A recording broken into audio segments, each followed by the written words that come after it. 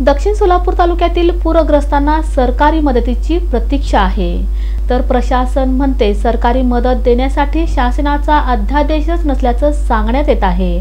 दक्षिण सोलापूर तालुक्यातील भीमा नदीच्या पुरामुळं सोळा गावांना त्याचा फटका बसला होता. अनेक शेतकऱ्यांच्या पिकामध्ये पुराचं पाणी शिरल्यामुळं पिकांचं नुकसान झालं आहे. सध्या पूर ओसरला असून पिकांच्या नुकसानीचे पंचनामे सुरू आहेत.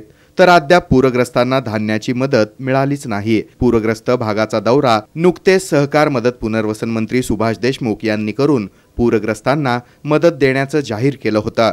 या दौऱ्यामध्ये त्यांनी दक्षिण सोलापूर तालुक्यातील पुराचा फटका बसलेल्या खानापूर कुसूर सादेपूर बाळगी भंडारकवठे खानापूर वडापूर टाकळी तेलगाव भीमा या गावांचा पाहणी दौरा करून नुकसान झालेल्या शेतकऱ्यांच्या पिकाचे पंचनामे करण्याचे आदेश दिले. त्याचबरोबर पुराचा फटका बसलेल्या ग्रामस्थांना शेतकऱ्यांना तीन महिन्यांपर्यंत दहा किलो तांदूळ दहा किलो गहू तीन लिटर रॉकेल मदत देण्याचं जाहीर केलं होतं.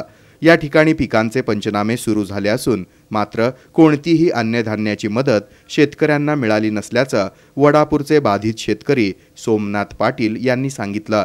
याबाबत दक्षिण सोलापूर तालुक्याच्या तहसीलदार रमा जोशी यांना फोनवरून संपर्क साधला असता त्यांनी कोणताही प्रतिसाद दिला नाही. निवासी नायब तहसीलदार शुभांगी जाधव यांना विचारला असता त्या म्हणाल्या की पूरग्रस्तांना मदत देण्यासाठी याबाबत शासनाचा कोणताही जी आर आला नाही.